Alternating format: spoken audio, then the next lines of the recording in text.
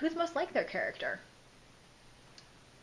Um, me, I think I'm most like my character. Um, in just in her sense of, she, she's really passionate, and I would say I'm a pretty passionate person, and she's grounded girl, and is she's a good girl, but she has kind of an edgy side to her. So I would say I'm most like most like my character. Yeah.